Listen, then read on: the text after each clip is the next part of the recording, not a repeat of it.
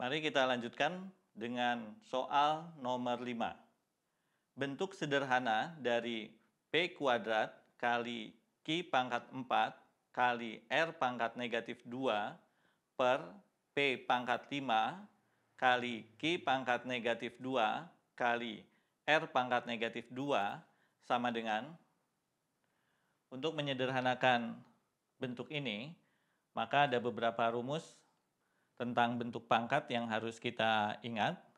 Yang pertama, jika A pangkat M dibagi B pangkat, uh, maksudnya dibagi A pangkat N sama dengan A pangkat M minus N.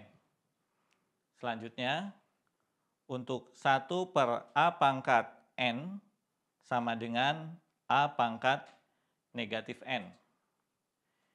Jadi, bentuk P kuadrat kali Q pangkat 4 kali R pangkat negatif 2 per P pangkat 5 kali Q pangkat negatif 2 kali R pangkat negatif 2.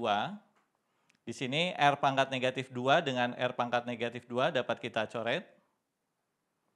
Selanjutnya, P kuadrat pada pembilang kita jadikan penyebut, maka menjadi P pangkat 5 kurang 2.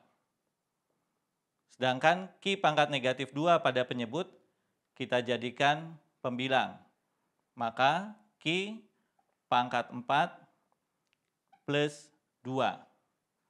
Jadi hasil penyederhanaannya adalah Q pangkat 6 per P pangkat 3. Demikian soal nomor